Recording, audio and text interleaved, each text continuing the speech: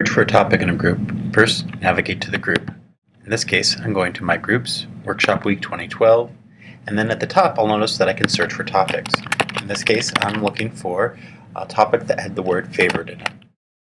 Once I select Enter or the uh, blue magnifying glass, I can see that I'll get all the results for favorite in Workshop Week uh, 2012. In this case, I have one result that I will notice on my right hand side. When I select the link, it will bring me to the post and I can go ahead and read or reply to the post.